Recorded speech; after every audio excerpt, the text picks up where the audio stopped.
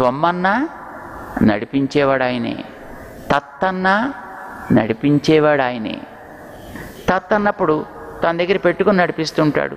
త్వం అన్నప్పుడు పతంగని ఆకాశంలో ఎగరేసి నడిపిస్తూ ఉంటాడు పతంగాలు ఆకాశంలో ఎగురుతున్నాయంటే ఒకడే ఐదు పతంగాలు పట్టుకుని ఎగరేస్తున్నాడు అనుకోండి. ఐదు ఐదు వైపులకి ఎగురుతుంటాయి. వీడొకడు. అన్నిటిని దగ్గర తీసి పెట్టుకున్నాడు అనుకోండి. అప్పుడు తన జేబులో పెట్టుకున్నటువంటి వీడు ఒకడు ఉంటాడు. మొత్తానికి ఒకటి చేతిలోనే ఉంటాయి. చేత ఇవేవి స్వతంత్రములు కావు. ఇవన్నీ కూడా వాడు మూలముగా కలిగినవి. ఎవడు? సత్ అనేదే మూలము వీటికి. కనుక ఇవన్నీ ఎవడి మీద ఆధారపడి ఉంటాయి? సత్ మీద. సన్ మూలాహ సోమ్య ఇమా సర్వా ప్రజా సదాయతనా సాహ నిన్న మనం చెప్పుకున్నాం. ఇవన్నీ కూడా సత్తుని మూలముగా కలిగినవి. సత్తుని తమకి ఆయతనం అంటే నడిపేదిగా కలిగినవి. సత్తు ఎందే ఇవన్నీ కూడా నిలకడగా ఉండేవి. వాడెప్పుడు ఈ పతంగాలు ఇలాగా తెగి మనమైతే వదిలేసుకుంటాం ఆకాశంలో స్వతంత్రంగా ఎగిరిపోవడానికి. ఈయన దగ్గర నుంచి అట్లాగా స్వతంత్రంగా వదిలి ఎగిరిపోవడం అనేటటువంటిది సంభవించనే సంభవించదు. బికాస్ ఆయన సర్వజ్ఞుడు సర్వశక్తి కలిగినవాడు కనుక. ఇది మనకి మొట్టమొదటి ఇట్లా ఆరంభమైంది. ఉపనిషత్ అదే క్రమంలో సాగింది. దీన్ని తెలియడం కోసమనే తండ్రి ఒకటి రెండు మూడు నాలుగు ఉదాహరణలు ఇచ్చుకుంటూ వెళ్ళాడు ఆయన. అట్లా చాలా ఉదాహరణలు ఇచ్చాడు. ఇచ్చిన ప్రతి ఉదాహరణతో కూడా ఆయన ఒక మాట మాత్రం స్పష్టంగా చెప్తున్నాడు. ఏం చెప్తున్నాడు ఆయన? అబ్బాయి ఈ కనిపించేదంతా కూడా నువ్వు ఎన్ని రూపాల్లో ఎన్ని గుణాలతోటి చూస్తున్నా ఇదంతా కూడా మళ్ళీ మూటి కలయిక. ఏమిటవి? పృథివ్య తేజోమయమై ఉంటుంది ఇదంతా. ప్లస్ దీని వెనకాతల జీవుణ్ణి పట్టుకున్న ఆ సత్తు కూడా ఉంటుంది. జీవుడితో కలిసిన సత్తు కూడా. ఏది చూడు. సో ఆ లోపల ఉంటుంది కనుక లోపలుండి నడిపిస్తూ ఉంటుందే లోపల చేత కాకుండా పడి ఉంటుందా? నడిపిస్తుంది. లోపల ఉండడం అనే పర్పస్సే నడిపించడం కోసం. చేత మనం అక్కడ లోపల కూర్చున్నాం ఒక ఇంట్లోను. ఇంటి పైన ఏం జరుగుతుందో మనకి తెలియదు మనకి కంట్రోల్ ఉండదు. మనకి లోపల వరకు మాత్రమే. కానీ ఆయనకు అలా కాదు. లోపల కంట్రోల్ ఉంటుంది పైన కూడా కంట్రోల్ ఉంటుంది. రెండింటి మీద ఆయన కంట్రోల్ ఉంటుంది. అంచేత ఆయన వీటన్నిటినీ కూడా తన చెప్పు చేతల్లో పెట్టుకుని తాను ఎట్లా నడిపిస్తే అట్లా నడిచేట్టుగా వాటినన్నిటినీ ఉంచుతాడు. తను లోపల ఉన్నాడు. లోపలున్నాడు కనుక ఆయన ఆత్మ. లోపలుండి నడిపేవాడిని ఏమంటాం మనం? ఆత్మ అంటాం. చేతి ఈయన లోపలుంటాడు నడిపిస్తుంటాడు. లోపలుంటి నడిపించే ఆత్మ ఇతను. ఎవడు ఇతనంటే? సత్తు గారు మరి నువ్వో? ఇప్పుడు నువ్వు అని ఇప్పుడు ఆయన చూపిస్తున్నా. ఈ నువ్వు అనేవాడు ఎలాంటి వాడు సత్తుని వెనక ప్రకృతిని ముందు కలిగిన వాళ్ళం మనం. మనకి ముందు వెనక రెండు ఉన్నాయండి ముందు ఒకటి వెనక ఒకటి. ముందు నుయ్యి వెనక గొయ్యిలాగా మనకి. మన- మనకి ముందు ప్రకృతి ఉంది వెనక అతను ఆయన ఉన్నాడు మనకి. అంచేత ఎక్కడి నుంచో తప్పించుకుపోదాం అని అనుకోవడానికి ఏం ఛాన్సెస్ ఏం లేవండి ఇక్కడ. నేను కొంతకాలం శుభ్రంగా ఆయన తీసుకెళ్ళి గుళ్ళో పెట్టేసి మూత వేసేసి హాయిగా పోయి సినిమా చూస్తాను. నోవే ముందు ఆయన ఉన్నాడు వెనక ముందు ప్రకృతి ఉంది వెనకాతల ఆయన ఉన్నాడు. చేత నువ్వు స్వతంత్రుడివా? కాదు. ఎట్లాంటి వాడివి? ఆయన పట్టుకుని ఉంటే ఉన్నవాడిని ఆయన మీద ఆధారపడ్డవాడిని ఆయన వాడిస్తుంటే వాడేవాడిని ఆయన నడుపుతుంటే నడిచేవాడిని కనుక ఆయనకి నేను ప్రకారము. ఆయనకి నేను శేషము. ఆయన నాకు శేషి. ఆయన నాకు ప్రకారి. ఆయన నాకు ఆత్మ. నేను ఆయనకి శరీరము. నాకు ఈ పైది శరీరం. నేను అతనికి శరీరం. అయితే తమాషా ఉంటుందండి ఇక్కడ. ఆయన మనం నడిపిస్తుంటే మనం ప్రకృతిని నడిపించట్లే. మనని ప్రకృతిని కూడా ఆయన నడిపిస్తుంటాడు వెనక నుంచి. ఇది తేడా అండి ఇక్కడ. యూజువల్గా ఇప్పుడు మనం పైన ఒక కప్పు వేసుకున్నాం అనుకోండి ఆ కప్పుని మనం నడిపిస్తాం. దానిపైన ఉండేదని ఇది నడిపించాలి. ఇప్పుడు మన భావన ఎలా ఉంటుందంటే ఈ ప్రకృతిలో నేనున్నాను కదా ఇది నాకు శరీరం. కనుక దీన్ని నేను నడిపిస్తా. ఓకే నన్ను ఆయన నడిపించనివ్వండి. కనుక ప్రకృతిని ఆయన నా ద్వారా నడిపించాలి అని అనుకుంటాం మనం. దగ్గర మధ్యలో మనం ఉన్నాం కదా ఇటు నుంచి ఇలాగా. కానీ అలాగంటే అవసరమేం లేదండి భగవంతుడికి ఆ సత్తు గారికి. ఆయన నిన్ను ఎట్లాగైతే డైరెక్ట్గా నడిపించగలడో పైనుండే శరీరాన్ని కూడా అట్లానే డైరెక్ట్గా నడిపించగలడు ఆయన. అంచేత నీకు కొంత స్వాతంత్ర్యం ఆయనకి కొంత స్వాతంత్ర్యం ఇద్దరు కలిసి దీన్ని మొయ్యాల్సిన అవసరం లేదు. అలా మనం అనుకుంటుంటాం కదా అప్పుడప్పుడు. అవునండి ఈ శరీరాన్ని నేనే కంట్రోల్ చేస్తాం కదా. ఆయన పర్మిట్ చేసినంత వరకు నేను దీన్ని వాడుకుంటున్నాను కదా. నేను లెమ్మంటే లేస్తోంది దిగమంటే దిగుతోంది. కనుక నాకు కొంత షేరు ఆయనకు కొంత షేరు. ఈ భావన మనలో ఉంటుంది సామాన్యంగా. కానీ అది కూడా సరికాదు. నిన్ను ప్రకృతిని రెంటిని కూడా నడిపించగలిగిన వాడు ఆయనే. ఎవరు ఆయన అంటే సత్ గారు. అయితే అది తెలుసుకుని నువ్వు నువ్వు అన్నా నీకేమనిపించాలి? నా లోపలుండే వాడే. అది అన్నా నీకేమనిపించాలి? వీటిని పట్టుకున్న వాడే. కనుక నువ్వన్నా వాడన్నా ఏ పదానికైనా అర్థం సర్ పర్యవసానంగా సత్తే. నువ్వు ఏ పదం చెప్పు. ఇది తెలిస్తేనే నీకు తెలివి ఉన్నట్టు లెక్క. ఒక ఒక పదానికి అర్థాన్ని చెప్పే పద్ధతిని వ్యుత్పత్తి అని అంటారు. వ్యుత్పత్తి. ఇప్పుడు ఒక ఒక వస్తువుని మనం ఏదైనా ఒక పేరు పెట్టి పిలుస్తాం. ఏదో రామ అన్నాం. అంటే ఆనందింప చేయువాడు అని అర్థం. ద రమ రమయతి. ఏదో రమంతే అస్మిన్. ఏదో చెప్పచ్చు. వ్యుత్పత్తి చెప్పడం అని అంటాను దాన్ని. ఏ పదానికైనా నువ్వు వ్యుత్పత్తి సక్రమంగా నీకు చెప్పడం వస్తే అది ఎక్కడ దాకా వెడుతుంది? ఎక్కడ దాకా వెళ్ళాలి అది? సత్ దాకా వెడితే నీకు ఆ పదానికి వ్యుత్పత్తి సక్రమంగా తెలిసిందని అర్థం. నువ్వు అక్కడ దాకా వెళ్ళకుండా కొంచెం దాకా వెళ్ళి అక్కడ ఆపేసావనుకో నీకు సగమే తెలిసిందని అర్థం. ఇప్పుడు నువ్వు అని నేను అన్నా. ఈ నువ్వు అనగానే నీకు ఎక్కడ దాకా వెళ్ళాలి దీని అర్థం?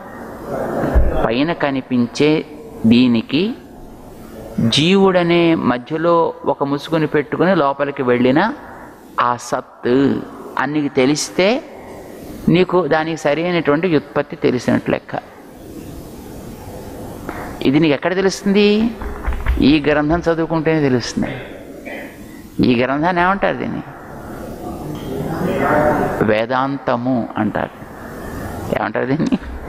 వేదాంతము అంచేది ఏదైనా ఒక శబ్దం యొక్క వ్యుత్పత్తి సక్రమంగా తెలియడం అనేది దేని ద్వారా తెలుస్తుంది? వేదాంతేనా? అందుకే ఒక సూత్రం చెప్పారు. వేదాంతేన హి వ్యుత్పత్తి పూర్యతే. నీకు తెలియవలసినటువంటి వేదాంత పరిజ్ఞానం కలిగినప్పుడే శబ్దం యొక్క అర్థము ఎక్కడ దాకా వెడుతుందో అది నీకు తెలుస్తుంది. అది తెలియలేదనుకో ఇప్పుడు నువ్వు అన్నాను ఎక్కడ దాకా వచ్చి ఆగిపోయింది అది? ఓ పేరు పెట్టాడు ఈయనకి. ఈయన పేరు వెంకయ్య అని పేరు పెట్టాడు. ఆ వెంకయ్య దాకా వెళ్ళి ఆగిపోతుంది అంతే. ఇంకో దానికి మామిడి అని పేరు పెట్టారు. మామిడి దాకా వెళ్ళి ఆగిపోయింది అంతే. ఇంకొక దానికి ఈగా అని పేరు పెట్టారు. అది పైన నీకు కనిపించే ఆకారం దాకా వెళ్ళి ఆగిపోయింది అంతే. కానీ నువ్వు ఈగా అన్నా ఆ పదం ఎక్కడ దాకా వెళ్ళాలి? ఈగ అనే ఆకారాన్ని ప్రకృతికి కల్పించి తనతో పాటు ఉండేటువంటి ఈ ప్రకృతికి కల్పించి ఆ కనిపించే ప్రకృతికి వెనకాతల తాను జీవుడితో పాటు ఉన్న సత్తు. దీనికి ఏదో ఒకదానికి ఏదో చింతగింజ అని పేరు పెట్టామనుకో ఆ చింతగింజ అనే పేరు ఎక్కడ దాకా వెళ్ళాలి అది చింతగింజ అనే ఆకారం ఈ ప్రకృతికి ఇచ్చి ఆ ఇచ్చిన ఆకారానికి వెనకాతల జీవుడితో పాటు ఉన్న సత్తుగారు. ఏ పదం చెప్పండి ఇప్పుడు నువ్వు ప్రపంచంలో ఏ పదం చెప్పినా అది ఎక్కడిదాకా వెడితేనే నీకు పూర్తయినట్లెక్క ఆ లోపల సత్తు దాకా వెడితే నీకు ఆ అర్థం పూర్తయినట్లు లెక్క. అంటే సక్రమంగా వెళ్ళి చేరినట్లు లెక్క. లేకపోతే స్టాప్డ్ సమ్వేర్ ఇన్ బిట్వీన్ మధ్యలో ఎక్కడో ఆగిపోయిన అర్థం అనమాట అందుకే మనవాడు వేదాంతేనహి వేదాంతం తెలిస్తేనే వేదాంత జ్ఞానము చేతనే వ్యుత్పత్తి పూర్యతే శబ్ద నిర్వచనం అనేది శబ్ద అర్థ జ్ఞానం అనేది సక్రమంగా నిండుతుంది. అంటే కలిగినట్టు లెక్క అని చెప్పారు. సో ఇది ఇద్దది ప్రపంచంలో ఏవి కూడా స్వతంత్రములు కావు. ఇవన్నీ కూడా ఆయనకి శరీరములే. ఇవన్నీ ఆయనకి ప్రకారములే. ఇవన్నీ ఆయనకి చెందినవే. ఆయన వీటన్నిటిని చెందించుకున్నవాడు వీటన్నిటికీ ఆత్మగా ఉన్నవాడు. వీటన్నిటికంటే వేటికి? నువ్వు ఏది చూపించు? ఈ చూపించే వాటన్నిటిని ఎట్లా చూపిస్తాం మనం? ఏతత్ అంటాం. ఎట్లా చూపిస్తాం దాన్ని? ఏతత్ ఏతత్ ఏతత్ అని చూపిస్తాం.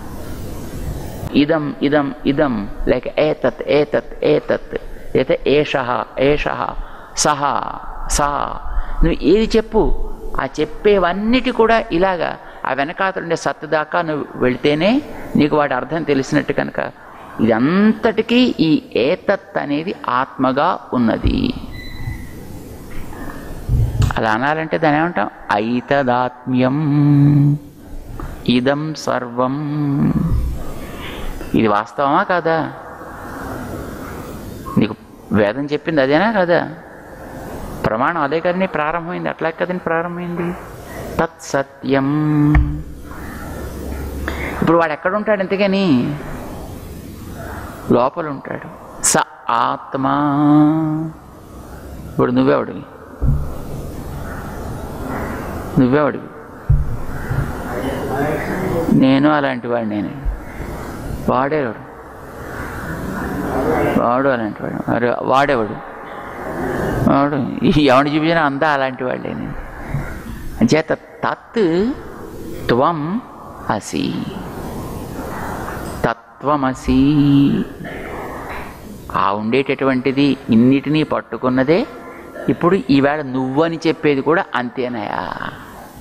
ఇప్పుడు తత్ అంటే ఏమీ లేనిది త్వం అంటే ఏమీ లేనిది ఈ ఆచ్ఛాదన పోతే ఇదంతా ఒకటైపోతుందా? ఇందులో పోవాల్సింది ఏమైనా ఉందా ఇందులోంచి? ఏదైనా? లేదా కొత్తగా వచ్చి పట్టుకుంది ఏమైనా ఉందా?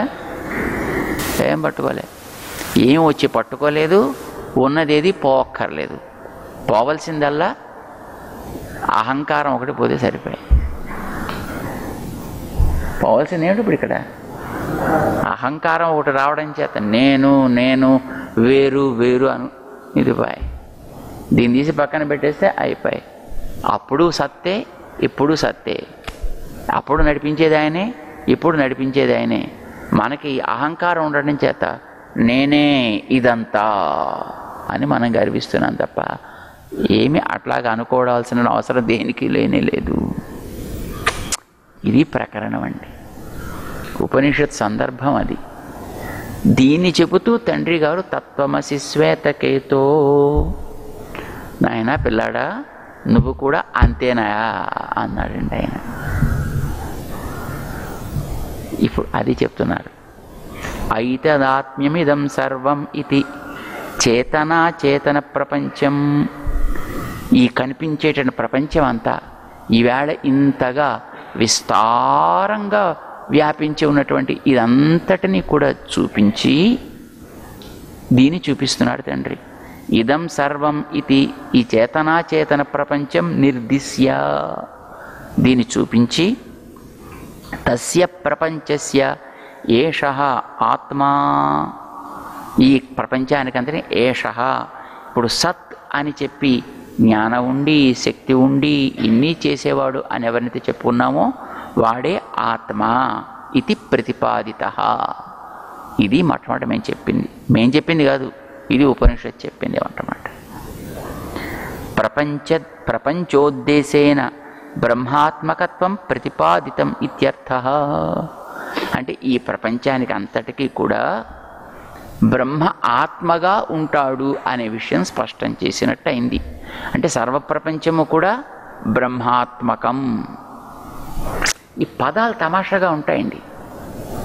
పదాలు అవే కానీ ఆ పదానికి అర్థం చేసుకోవడం వేరే మారిపోతూ ఉంటుంది ఇప్పుడు బ్రహ్మాత్మకం అన్నాం అనుకోండి అర్థం ఏంటి? బ్రహ్మని ఆత్మగా కలిగినది అని అర్థం. కానీ బ్రహ్మాత్మకం అంటే బ్రహ్మే తానైనది అని కూడా అర్థం అండి బ్రహ్మయే ఆత్మైనది బ్రహ్మయే తానైనది అని కూడా అర్థం చెప్పచ్చండి. ఎట్లా? ఇప్పుడు కుండని చూస్తాం మనం. కుండ దేంతో తయారైంది? మట్టితోటి. మట్టిని మృత్ అంటాం. మట్టిని మృత్ అంటాం. కుండ అంటే మట్టేనా వేరా? మట్టే. సో కుండని ఏమనొచ్చు? మృదాత్మకం. మృదాత్మకము అని అంటాం. అంటే అర్థం ఏంటి మట్టిని ఆత్మగా కలిగినదా కుండ? అంటే మట్టి వేరు కుండ వేరా? ఏం లేదు కదా అలాగా? మట్టే కుండ. అంటే దాని యొక్క మార్పే. మట్టి యొక్క వికారమే. కుండంటే. ఇలా కూడా అనొచ్చండి. ఈ ఆత్మ అనే పదాన్ని సంస్కృతిలో వాడినప్పుడు ఇదే అది అనే అర్థంలో కూడా మనం వాడచ్చు. మృదాత్మకము అన్నట్టుగా ఈ ప్రపంచంలో బ్రహ్మాత్మకం. అంటే ఏమైంది ఇప్పుడు? ఇదంతా బ్రహ్మే. అంతా బ్రహ్మమయమే అని చెప్పినట్టు అయింది. కానీ బ్రహ్మాత్మ అంటే ఇంకో అర్థం కూడా చెప్పచ్చు. ఏం చెప్పచ్చు? బ్రహ్మ ఆత్మగా కలిగినది ఇది అని చెప్పచ్చు. చూడండి ఎంత అర్థం మారిపోయిందో చూడండి. ఇప్పుడు ఒక నాటకం చూస్తున్నారు మీరు. టీవీలో చూస్తుంటారు కదా రోజు చూస్తారు కదండి. సినిమాలు చూస్తారా చూడరా? బోల్డ్ అని చూస్తారు. చూసినప్పుడు అదంతా పాపం ఆ సినిమా అంతా ట్రాజిక్ అండి. అంతా ఏడిపోయే దాని దాన్ని ఏమంటారు దాన్ని ఆ సినిమాని చూసి? ఇదంతా దుఃఖాత్మకం అండి ఇది. అంటారా అంటారా దుఃఖాత్మకం ఇది. ఒక సినిమా చూస్తే అంత బ్రహ్మాండమైన కామెడీ. అప్పుడు దాన్ని ఏమంటారు? రసాత్మకం అండి. ఓహ్ ఏం బాగుందండి ఏం బాగుంది. రసాత్మకం ఇది అంటారు. అంటే అర్థం ఏంటి రసమే అదే. రసమును తనలో కలిగినది. నాటకం అనేది ఏదో సినిమావో నాటకమో ఏదో ఒకటి అది వాడు చూపించాడు. అందులో ఈ రసం ఎక్కువ ఉంది. అంటే దాన్ని ఏమంటాం దాన్ని? రసాత్మకము అని అంటాం. కానీ ఇందాక మృదాత్మకము అన్నది? ఈ మట్టే తాను అన్నదాన్ని స్వరూపైక్యము అంటామండి. తాదాత్మ్యము అని అంటాం దాన్ని. అంటే ఇది అది రెండు వేరు కావు. కానీ రసాత్మకము అన్న చోట అది వేరు ఇది వేరు. ఇది శరీరాత్మభావ నిబంధనం అంటాను అంటే విశేషణ విశేష్యము అని అంటాం అంటే రసం అనేది దాంట్లో ఉన్నది. ఏదో దుఃఖం అనేది ఆ నాటకంలో ఉన్నది. అందులో ఇది ఉంది అని అర్థం. ఇదే అది కాదు. ఇప్పుడు సుందరకాండలో హనుమంతుడు సీతమ్మని చూడడానికి వెళ్ళాడు. సీతమ్మని చూశాడు అక్కడ.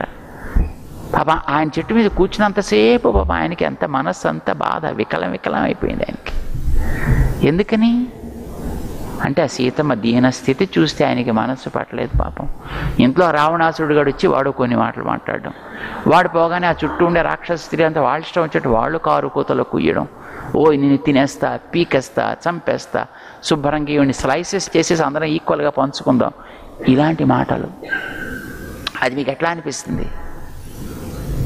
బాబా బాబా మనస్సంతా అలాగా అలా పిండేసినట్టు అయిపోతుందండి అది. అది దుఃఖాత్మకం. కొంచెం సేపు అయింది. సరే హనుమంతుడు సీతమ్మని చూశాడు. ఆ తర్వాత మెల్లిగా లంకలోకి వెళ్ళాడు. శుభ్రంగా ఈ చెట్లు కొట్టి ఆ చెట్లు కొట్టి భీభత్సం. బీభత్సం వచ్చేవాడంతా వస్తున్న ఒక్కొక్క రాక్షసుడు రావడం శుభ్రంగా వాడిని పచ్చడి పచ్చడి చేసేయడం పోరా అని పంపించేయడం అయిపోయి ఎలా అనిపిస్తుంది మనకి? ఓ భీభత్సం అనిపిస్తుంది. భీభత్సం. సముద్రం మీద రాముడు బ్రిడ్జి కట్టాడు. అమ్మో ఏం ఆశ్చర్యం ఇది. అద్భుతం. రసాలు మారుతున్నాయి చూడండి. అది రసాత్మకం అంట. అది అద్భుతం ఒక రసం. అదో దుఃఖం ఒక రసం. ఈయన పెట్టి తోక అంటించేస్తే టక్కమని ఈ బిల్డింగ్ వెళ్ళడం అక్కడ అంటించేయడం. ఆ బిల్డింగ్ వెళ్ళడం అక్కడ నుంచి ఓహో బ్రహ్మాండం వేయించండి మంచి బ్రహ్మాండం మనకి ఉత్సాహంగా అనిపిస్తుంది మనకి సో ఇది తద్రసం అనేది అందులో ఉంది. ఆ కథ కథలో రసం ఉంది. అంచేత రసం అనేది ఒక గుణంగా కలిగిన ఒక కథ. కథం అనేది ఈ రసం అనేటటువంటిది ఆత్మగా కలిగినటువంటి అది ఒక బాడీ. ఆ స్టోరీ ఈజ్ ఎ బాడీ. అది శరీరాత్మభావం అంటాం. అదే విశేషణ విశేష్యం అని అంటాం. కానీ మృదాత్మకము అన్నప్పుడు అది వేరే మీరు పటికి బెల్లం ఉంది. పటికి బెల్లం నోట్లో పెట్టుకున్నారు. ఎట్లా ఉంటుంది అది తీపే. తీపే. అది రసాత్మకమైన. కానీ అక్కడ స్వరూపైక్యం అంటాం ఇదే ఆ స్వరూపం. తీపే స్వరూపం తప్ప తీపి కలిగినది కాదు. మీరు గులాబ్ జామ్ నోట్లో పెట్టుకున్నారనుకోండి అది మళ్ళీ వేరేది. అది తీపి కలిగినది. కానీ పటికి బెల్లము తీపే తానైనది. ఇది స్వరూపైక్యము అంటాను దీన్ని. ఏమంటాను దీన్ని? స్వరూపైక్యము అంటాం. కానీ గులాబ్ జామ్ కూడా రసాత్మకమే. అప్పుడు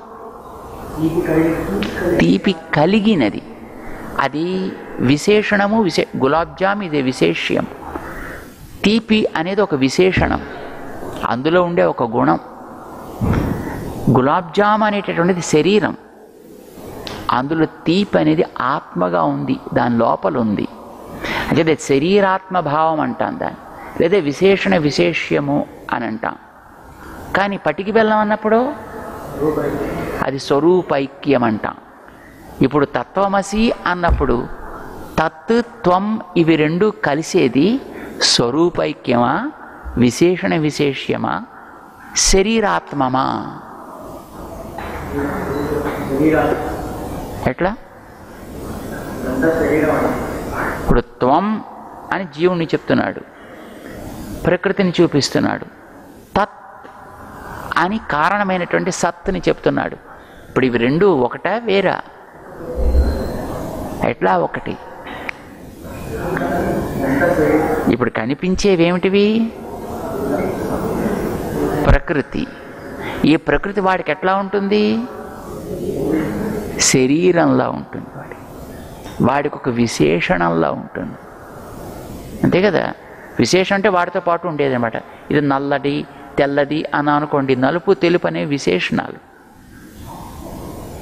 కనుక ఈ ప్రకృతిని ఎలా ఉన్నాడు వాడు? ఎలా పట్టుకున్నాడు వాడు? ఒక విశేషణంగా. లేదా తనకి శరీరంగా. అప్పుడు దాని శరీరంగానే పట్టుకున్నాడు. ఇప్పుడు దానికి శరీరంగానే పట్టుకున్నాడు. తేడాల్లా అప్పుడు చిన్నదిగా చేశాడు ఇప్పుడు ఇలాగా దాన్ని పెంచాడు. అంతే తేడా. కానీ ఎప్పుడు దీన్ని పట్టుకునే ఉన్నాడు. అంచేత ఈ తత్కి త్వమ్కి అంటే తత్ అని చూపించే కారణ దశకి త్వం అని చూపించేటటువంటి కార్యదశకి ఇవి రెండు స్వరూపంతో ఒకటే. అదే కదా ఇది. అదే ఇది. మట్టి మారినట్టే మారింది. కానీ తేడా ఎక్కడా? వీడు త్వం అని చూపించేటటువంటి ఒక జీవుడి కోసం కనుక ఈ జీవుణ్ణి వాడు తనకి శరీరంలా పెట్టుకున్నాడే. తనకు ఒక విశేషణములా పెట్టుకున్నాడు. అంచేత ఈ జీవుడికి దేవుడికి ఉండేటటువంటి సంబంధం ఎట్లాంటిది? విశేషణ విశేష్య భావ సంబంధం. లేదా? శరీరాత్మ భావ సంబంధమే తప్ప ఇది లేదు అని చెప్పడం తాత్పర్యం కాదు. ఇప్పుడు నువ్వు అని చెప్పేదంతా ఇదంతా ఉత్తిదేనా అని చెప్పడం కోసం రాలా. నువ్వు ఉన్నావు. ప్రకృతి ఉంది. అప్పుడు కనిపించకుండా ఉంది ఇప్పుడు కనిపిస్తుంది. అంతే తేడా. చేత ఇవన్నీ నీ వాడికి శరీరంలా ఉంటాయి స్వాధీనమై. ఇవన్నీ వాడికి విశేషణములై ఉంటాయి వదలకుండా. ఇవన్నీ వాడికి ప్రకారములై ఉంటాయి తాను ప్రకారిగా ఉంటాడు. ఇట్లాంటి ఐక్యాన్ని చెబుతోందే తప్ప శరీరాత్మభావ సంబంధ నిబంధనం అలాంటి దాన్ని కలిగి ఉన్నది అని అర్థం అనమాట విశేషణ విశేష్య భావ సంబంధ నిబంధనం. అలాంటి సంబంధాన్ని కలిగి ఉన్నది. ప్రకార ప్రకారిభావ సంబంధ నిబంధనం ఇది అలాంటి దాన్ని కలిగి ఉన్నది ఇది. చేత ఈ ప్రపంచానికి జీవులకి పరమాత్మకి కూడా స్వరూపైక్యం అనేటటువంటిది కాదు. శరీరాత్మభావంతో సంబంధం. ఇది చెప్పాలండి. దాన్ని ఇలా చెప్పకుండా ఇదంతా పోయేది అసలు ఇదంతా ఏముండదు. ఉండేది ఒకటే తత్ ఒక్కటే ఉంటుంది. ఈ తొమ్మ అనేదంతా మాయా కల్పితం. ఇదంతా తొలగిపోతే ఉండేది ఒక్కటే తత్. అంతా మొత్తం నిర్విశేషమైనటువంటి శుద్ధ బుద్ధ ముగ్ధ స్వరూపం ఒక్కటే. అసలు దానికంటూ ఏమీ ఉండదు అని ఎక్కడైనా చెప్పింది దాంట్లో? అలా చెప్పడంలో వాళ్ళు ఏం చేశారు? ఎందుకు అట్లా చెప్పారు అనేదాన్ని రామానుజులు వారు వివరిస్తారు. దాన్ని మనం రేపు చెప్పుకుంటాం. అశేష చిదచిద్వస్తు శేషిణే శేషశాయినే నిర్మలానంత కళ్యాణ నిధయే విష్ణవే నమ. ॐ वेदान्तद्वयत्वज्ञं मन्त्रमन्त्रात्ततं गुरुं श्रीमन्नारायणाचार्यरामानुज यतिं भजे। ॐ अस्मद्गुरुभ्यो नमः।